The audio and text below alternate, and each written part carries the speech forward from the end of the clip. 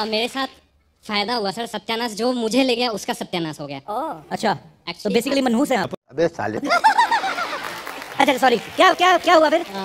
I was in college उस वक्त मैं कॉलेज में था। मेरा एक बेस्ट फ्रेंड है। अ, वो किसी लड़की से बहुत ज़्यादा प्यार करता था। अच्छा। अच्छा। तो वो मुझे कन्विंस किया कि भाई तू भी चलना मेरे साथ।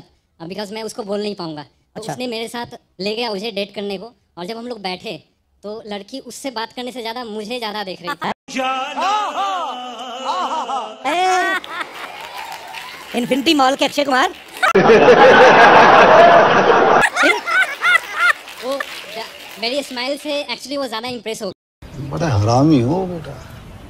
तो उसने उसने ये बोला लड़की ने कि एक्चुअली अगर मैं तुम्हें पसंद करती हूँ ना तो मैं इसको बता दूँगी तुम एक्चुअली इनका नंबर मुझे दे दो। मेरा नंबर उसने ले लिया देन वो मेरे से सेटल हो गई। सही खेल गया